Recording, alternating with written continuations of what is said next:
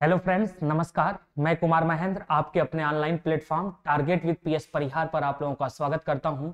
तो हम लोग जो लर्निंग पढ़ रहे हैं तो लर्निंग के सीरीज़ में हम लोग बहुत सारे सिद्धांत पढ़ चुके हैं। तो आज हम लोगों का लर्निंग का, ठीक है लेक्चर सेवन है और जिसमें आज हम लोग एक महत्वपूर्ण सिद्धांत के बारे में चर्चा करेंगे, जिसका नाम है, ठीक रॉबर्ट एम गैने का, अधिगम का, सोपान का सिद्धांत या अष्ट सोपानकी का सिद्धांत बहुत इंपॉर्टेंट सिद्धांत है जो आप लोगों के एग्ज़ाम में बार बार क्या किया जाता है पूछा जाता है। तो चलिए देर न करते हुए आ, सेशन को क्या करते हैं? शुरू करते हैं।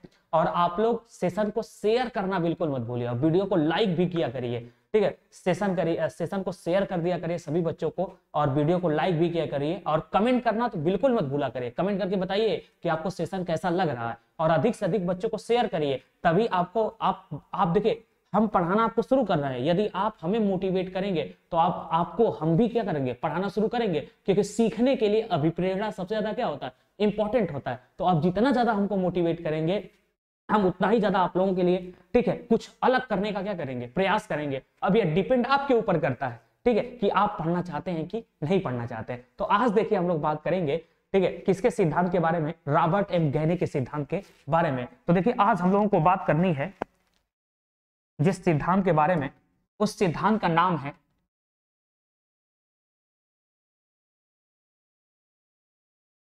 अधिगम का अधिगम का सोपान, अधिगम का सोपान, या इसी को देखिए, अष्ट सोपान, या सोपानकी का सोपानकी का सिद्धांत। सोपानकी का सिद्धांत। इसके बारे में हम लोग क्या करेंगे? डिस्कस करेंगे और बात करेंगे कि यह सिद्धांत किसका है? अधिगम का सोपान या अधिगम का अष्ट सोपान या सोपानकी का सिद्धांत? बहुत इंपॉर्टेंट ठीक है, सिद्धांत है लर्निंग का, जो कि बार बार आपके एग्ज़ाम में क्या किया जाता है? पूछा जाता है। तो अगर देखिए, हम लोग बात करें कि इस सिद्धांत का प्रतिपादन कौन किया था? इस सिद्धांत के जो प्रतिपादन करता है, अर्थात इस सिद्धांत को जो दिए थे, उनका नाम है रॉबर्ट। उनका नाम क्या है देखिए? Robert M Gagne. Robert M Gagne महोदय हैं। अर्थात देखिए, अगर इनके पूरा नाम की बात करें तो इनका पूरा नाम है रॉबर्ट, क्या नाम है देखिए? Robert Mills Robert Mills Gagne. Robert Mills कौन है? गैने हैं। ठीक है अगर देखिए हम लोग बात करें कि यह जो रॉबर्ट मिल्स गैने महोदय हैं, यह कहाँ के रहने वाले हैं? तो रॉबर्ट मिल्स गैने देखिए निवासी हैं। अगर हम लोग बात करें कि यह निवासी कहाँ के हैं तो यह निवासी हैं आपके यूएसए के, अर्थात देखिए यह आपके अमेरिका के निवासी हैं। ठीक है, अमेरिकन साइकोलॉजिस्ट अमेरिकन क्या है? अमेरिकन साइकोलॉजिस्ट हैं। तो जब भी पूछा जाए कि रॉबर्ट मिल्स गैने जो हैं यह कहाँ के साइकोलॉजिस्ट हैं तो यह अमेरिकन क्या है? साइकोलॉजिस्ट हैं। अगर देखिए हम लोग बात करें, इनके बारे में थोड़ा सा और जानने का प्रयास करें तो इनका जो जन्म हुआ था, जन्म की बात करें तो इनका जन्म आपका, ठीक है 1916 में हुआ था। इनके जन्म की देखिए बात करें, इनका जन्म जो हुआ था 1916 में 1916 में इसका क्या हुआ था? जन्म हुआ था और ये भी आपसे कभी पूछ लिया जाएगा तो कहाँ पर हुआ था? यूएसए में हुआ था। देखिए, इनकी एक बुक है। इनकी एक क्या है? बुक है, जिसका नाम है, बहुत इंपॉर्टेंट बुक है the the condition of learning क्या नाम है? द कंडीशन ऑफ़ लर्निंग तो देखिए, इनके बुक है, जिसका नाम है द कंडीशन ऑफ़ लर्निंग अर्थात सीखने की शर्तें। द कंडीशन ऑफ़ लर्निंग और इसी पुस्तक में इन्होंने 1965 में अपना सिद्धांत दिया। 1965 में क्या दिया? अपना सिद्धांत दिया। अधिगम का सोपान या सोपानकी का सिद्धांत। और इन्होंने बताया कि जो अधिगम, इन्होंने टोटल अधिगम का, देखिए इन्होंने क्या बताया? इन्होंने अधिगम का, इन्होंने अधिगम का कुल आठ सोपान बताया। कुल कितने सोपान बताए? कुल आठ सोपान बताया। यह भी पूछा जाता है कि इन्होंने अधिगम का कुल कितना सोपान बताया? तो इन्होंने कुल अधिगम का आठ सोपान बताया, जो आप लोगों के लिए बहुत ज़्यादा क्या है इंपॉर्टेंट है। बार बार आप लोगों के एग्ज़ाम में यहाँ से प्रश्न क्या किया जाएगा? पूछा जाएगा। तो चलिए समझने का प्रयास करते हैं कि इन्होंने जो अधिगम का आठ सोपान बताया था, उसको कैसे बताया था और किस तरीके से बताया था, उसको क्या करते हैं? समझते हैं और हम लोग देखते हैं अधिगम के जो आठ सोपान है, उसके बारे में। तो देखिए, अगर हम लोग अधिगम के सोपान के बारे में बात करें तो इन्होंने कुछ इस तरीके से एक डायग्राम ड्रॉ करके अपने सिद्धांत का जो आठ सोपान है, उसको बताने का क्या किया? प्रयास किया। और देखिए कैसे प्रयास किया। One two three four five six seven तो देखिए, इनके अधिगम का टोटल क्या हो गया यह? आठ सोपान और देखिए, इस आठ सोपान को देखने का हम लोग प्रयास करते हैं। कौन कौन है? यह देखिए first second third four, five, six, seven, eight. ठीक है, इसका अपना क्रम है। इसका अपना क्या है? क्रम है। इसका क्रम भी आपसे क्या किया जाएगा? पूछा जाएगा। तो देखिए, जो पहला है, इस पहले की बात करें तो पहला जो है आपका संकेत। संकेत आधारित अधिगम है। आधारित अधिगम। अधिगम, अर्थात देखिए, संकेत अधिगम है। अर्थात अगर इसकी इंग्लिश की बात कर ले हम लोग तो इसको बोलते हैं सिग्नल लर्निंग। क्या बोलेंगे? Signal learning. चलिए, अब देखिए, इसके बाद हम लोग इसके दूसरे पर बात करें तो वह देखिए आपका है उद्दीपक अनुक्रिया अधिगम। क्या है आपका? उद्दीपक अनुक्रिया अधिगम। उद्दीपक अनुक्रिया क्या है आपका? अधिगम है, अर्थात देखिए स्टिमुलस रिस्पॉन्स लर्निंग देखिए क्या है? Stimulus response response learning stimulus response learning तीसरे की देखिए अगर हम लोग बात करें, जो हमारा थर्ड नंबर पर है अगर इसकी बात करें तो देखिए, पहला संकेत आधारित अधिगम है, दूसरा उद्दीपक अनुक्रिया क्या है? लर्निंग है, और तीसरा देखिए, श्रृंखला है। तीसरा आपका क्या है?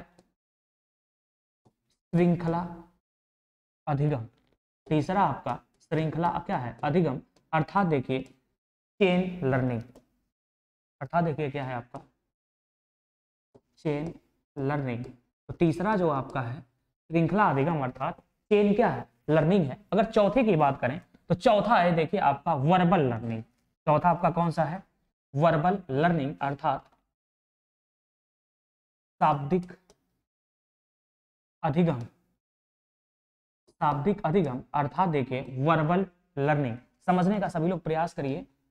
अभी इसको बताते हैं वर्बल लर्निंग क्योंकि इसका क्रम पूछा जाता है। वर्बल लर्निंग उसके बाद देखिए, पाँचवें नंबर पर जो है आपका, उसकी बात करें तो बहु विभेदीकरण बहु विभेदीकरण अर्थात देखिए बहु विभेदीकरण अधिगम। बहु विभेदीकरण अधिगम है, अर्थात इसकी देखिए अगर हम लोग बात कर लें तो आपका है डिस्क्रिमिनेशन डिस्क्रिमिनेशन, लर्निंग। फिर इसके बाद देखिए, छठे नंबर की अगर हम लोग बात करें तो वह आपकी अधिगम कौन है? तब इसके बाद जैसे ही वह विभेदीकरण कराएँगे तो इसके बाद संप्रत्यय का क्या होगा? निर्माण होगा। अर्थात संप्रत्यय अधिगम। इसके बाद हम कॉन्सेप्ट बनाएँगे। संप्रत्यय अधिगम की बात करेंगे। अर्थात कॉन्सेप्ट लर्निंग इसकी बात करेंगे हम लोग। कॉन्सेप्ट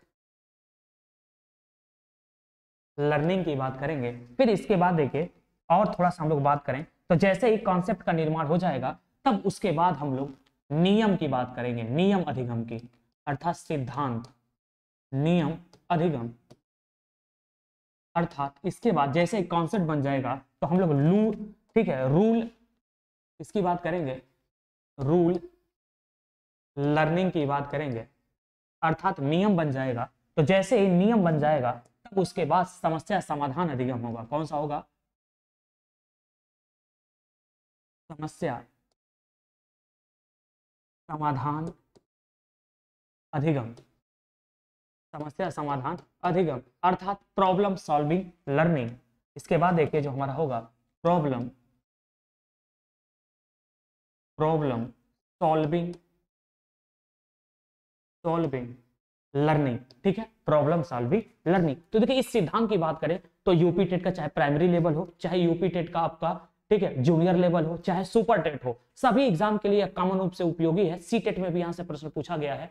बहुत इंपॉर्टेंट सेशन आज का होने वाला है आप लोगों का, क्योंकि यहाँ से यूपी टेट सी टेट या सुपर टेट हर जगह प्रश्न पूछा गया है और अगली बार भी पूछा जाएगा। तो बहुत इंपॉर्टेंट है आज का आप लोगों का सेशन तो देखिए, मैंने आपको क्या बताया? इन्होंने टोटल देखिए, इन्होंने क्या बताया? अधिगम का आठ सोपान बताया। कितना सोपान बताया? आठ सोपान पहले सोपान की बात करें तो एक बार आप लोग स्क्रीनशॉट ले सकते हैं। इसके बाद हम लोग इसके सोपान पर क्या करते हैं? चर्चा करते हैं। देखिए, पहला सोपान इन्होंने बताया, संकेत आधारित, ठीक है लर्निंग अर्थात सिग्नल लर्निंग अर्थात देखिए, यह यस की बात कर रहे हैं। सिग्नल का मतलब देखिए क्या हो गया? एस उद्दीपक अनुक्रिया लर्निंग की बात कर रहे हैं। स्टिमुलस रिस्पॉन्स लर्निंग दूसरा है उद्दीपक अनुक्रिया अधिगम। देखिए, उद्दीपक अनुक्रिया भी आपका क्या है? यस है। तीसरा है देखिए, श्रृंखला अधिगम। चेन लर्निंग की बात कर रहे हैं। अर्थात देखिए क्या सी है। तो पहला तीन आपका एस एस सी है। फिर उसके बाद देखिए, शाब्दिक अधिगम की बात करें वर्बल लर्निंग की, अर्थात देखिए वी है। फिर बहु विभेदीकरण अधिगम की बात कर रहे हैं, अर्थात देखिए डिस्क्रिमिनेशन लर्निंग की बात करें डी हो जाएगा। फिर संपत्ति अधिगम की कॉन्सेप्ट की बात कर रहे हैं, यहाँ पर आपका सी हो जाएगा। फिर नियम अधिगम की बात कर रहे हैं रूल बनाएँगे, और उसके बाद फाइनली समस्या समाधान अधिगम है प्रॉब्लम सॉल्विंग अधिगम है। क्लियर तो आपको यह आना चाहिए। अब देखिए ध्यान से, सबसे पहले जो यह आपका बात करें हम लोग, किसका? संकेत आधारित जो अधिगम है, इस अधिगम की बात करें तो इसको लर्निंग का या इनके सोपान का सबसे निम्न स्तर बोलते हैं। इसको देखिए, इनके सोपान का यह बात करें, जो यह पहला नंबर है, यह देखिए सबसे निम्न स्तर है। यह क्या है? निम्न स्तर है। यह देखिए निम्न स्तर है। और जो यह प्रॉब्लम सॉल्विंग है, यह देखिए उच्च स्तर है। यह कौन सा स्तर है? उच्च स्तर है। तो यह भी प्रश्न पूछा जाता है। अर्थात हम लोग बात करें तो यह देखिए, निम्न से उच्च की ओर क्या कर रहा है? मूव कर रहा है। किसके तरफ़ मूव कर रहा है? निम्न से उच्च की तरफ़ क्या कर रहा है? मूव कर रहा है। अर्थात देखिए, जो यह अधिगम है आपका, संकेत आधारित अधिगम है। तो यह जो संकेत आधारित अधिगम है, यह पावलो के सिद्धांत पर आधारित है। तो यह भी पूछा गया है कि संकेत आधारित अधिगम किसके सिद्धांत पर आधारित है? तो यह पावलो के सिद्धांत पर आधारित है, जो कि सबसे निम्न स्तर का अधिगम है। अर्थात देखिए, जैसे हम लोग रोड पर जाते हैं और रेड लाइट देखती है, जैसे रेड लाइट जलती है तो हम लोग तुरंत क्या हो जाते हैं? रुक जाते हैं और जैसे ही येलो लाइट जलती है तो हम लोग एक्टिव हो जाते हैं और जैसे ही ग्रीन लाइट जलती है तो हम लोग जाने लगते हैं। अर्थात इस अधिगम को बोलते हैं संकेत आधारित अधिगम और यह सीखने का सबसे निम्न स्तर होता है। यह बात कौन कहता है? रॉबर्ट एम गहने फिर देखिए, उद्दीपक अनुक्रिया के सिद्धांत की बात करें तो यह आपका थॉर्नडाइक के सिद्धांत पर आधारित है। उद्दीपक अनुक्रिया का स्टिमुलस रिस्पॉन्स थ्योरी अर्थात जैसा हमको उद्दीपक दिखता है, उसी तरीके से हम क्या करते हैं? लर्निंग करते हैं। अब देखिए, श्रृंखला आधारित अधिगम चेन आधारित अधिगम की अगर हम लोग बात करें तो यह देखिए, एडविन गुथरी का सिद्धांत है, अधिगम का, ठीक है, समीपस्थ सिद्धांत की बात है। अगर इस सिद्धांत की अगर हम लोग बात करें, वह एडविन गुथरी का सिद्धांत है, ठीक है, अर्थात श्रृंखला अधिगम करते हैं। अर्थात हम बच्चे कोई भी चीज़ अगर सीखते हैं तो एक सीरीज़ में सीखते हैं, जैसे वर्णमाला, ए, बी, सी, डी। कोई ऐसा बच्चा है जो डी से शुरुआत करता है या जेड से शुरुआत करता है? नहीं, सभी लोग एक क्रम में लर्न करते हैं, अ, आ, ई। तो उस पर देखिए, डिपेंड होता है आपका श्रृंखला अधिगम। शाब्दिक का मतलब क्या है? इसके बाद हम लोग शब्दों में लर्निंग करना क्या करते हैं? शुरू करते हैं। और जैसे इस शब्दों में लर्निंग कर लेते हैं तो अर्थात बहुत सारी चीज़ें क्या कर लेते हैं? भाषिक लर्निंग कर लेते हैं। अब जब बहुत सारी चीज़ें लर्निंग की हैं, अब उसका हम लोग विभेदीकरण करते हैं डिस्क्रिमिनेशन करते हैं, उसको अलग अलग करते हैं और जैसे ही उसको हम लोग अलग अलग करते हैं, तब उसके बाद हमको एक कॉन्सेप्ट पर पहुँचते हैं। किस पर पहुँचते हैं? एक कॉन्सेप्ट पर पहुँचते हैं, एक संप्रत्यय पर पहुँचते हैं और हमको एक कॉन्सेप्ट मिल जाता है, एक संप्रत्यय मिल जाता है। तो जैसे ही हमको संप्रत्यय मिल जाता है कॉन्सेप्ट मिल जाता है, उसके बाद हम क्या करते हैं? एक नियम बनाते हैं। क्या बनाते हैं? नियम की यह चीज़ें ऐसे हो रही है, यह चीज़ें ऐसे हो रही हैं। और जैसे ही एक नियम बन जाता है तब उसके बाद हमको समस्या समाधान, फिर उसके बाद उसी नियम से हम समस्या का क्या कर देते हैं? समाधान कर देते हैं। तो इसको देखिए बच्चों, बोला जाता है समस्या समाधान अधिगम। अर्थात सबसे निम्न स्तर का जो अधिगम है, वह संकेत आधारित अधिगम है और सबसे उच्च लेवल का जो अधिगम है, वह अधिगम आपका क्या है? समस्या समाधान अधिगम है। तो इसका निम्न से उच्च स्तर या उच्च से निम्न स्तर का क्रम लगाने के लिए पूछा जाता है। तो सुपर टेट में भी पूछा गया। ठीक है? यूपी टेट पेपर फ़र्स्ट में भी पूछा गया, यूपी टेट पेपर सेकंड में भी पूछा गया, इनकी किताब का नाम भी पूछा गया तो बार बार इस सिद्धांत को आपके एग्ज़ाम में क्या किया जाता है? पूछा जाता है। तो आइए इसी को हम लोग एक एक चीज़ को समझने का क्या करते हैं? प्रयास करते हैं। तो देखिए, कुछ और बेसिक चीज़ें इनके सिद्धांत में समझिए। देखिए जो यह शुरू का तीन है, यह जो शुरू का आपका क्या है? तीन है, अर्थात संकेत, उद्दीपक अनुक्रिया और श्रृंखला। इसको केवल व्यवहारवादी अध्ययन करते हैं। इसका अध्ययन कौन करते हैं? केवल व्यवहारवादी मनोवैज्ञानिक। तो इसका अध्ययन जो करता है, वह केवल कौन करता है? व्यवहारवादी मनोवैज्ञानिक। और ये जो ये ऊपर का पाँच है यह देखिए, जो ऊपर का पाँच है, इसकी अगर हम लोग बात करें तो इसका जो अध्ययन करते हैं, ऊपर के जो ये पाँच का, उसको संज्ञानवादी करते हैं। केवल केवल कौन करता है? संज्ञानवादी। तो जो संज्ञानवादी मनोवैज्ञानिक हैं, ठीक है, जो गेस्टाल्टवादी मनोवैज्ञानिक हैं संज्ञानवादी मनोवैज्ञानिक ये ऊपर के पाँच का क्या करते हैं? अध्ययन करते हैं, अर्थात शाब्दिक बहुभेदीकरण सब प्रत्यय नियम और संज्ञान। सबको, अब देखिए, इनके द्वारा सीखने के लिए हमको चिंतन करना पड़ता है, अपने सूझ का प्रयोग करना पड़ता है, अपने बुद्धि का प्रयोग करना पड़ता है।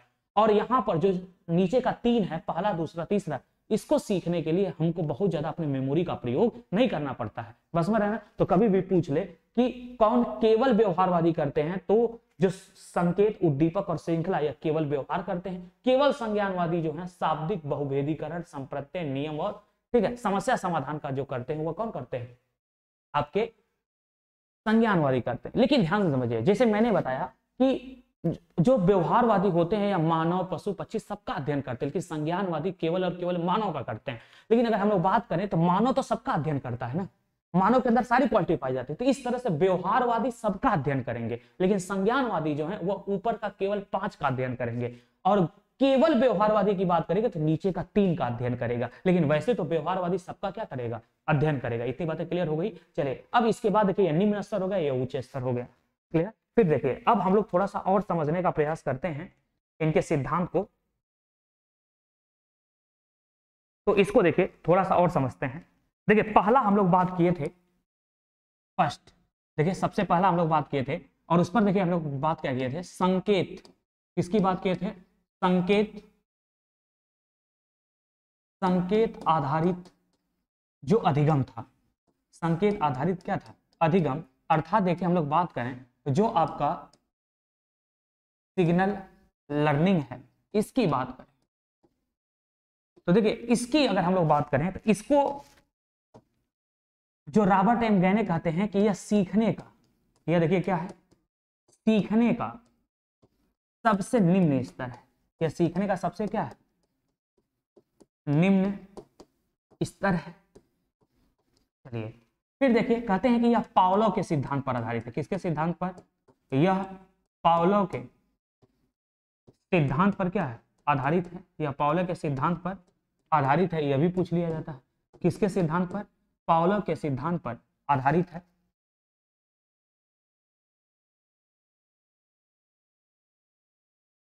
यह पावलो के सिद्धांत पर क्या है आपका? आधारित है।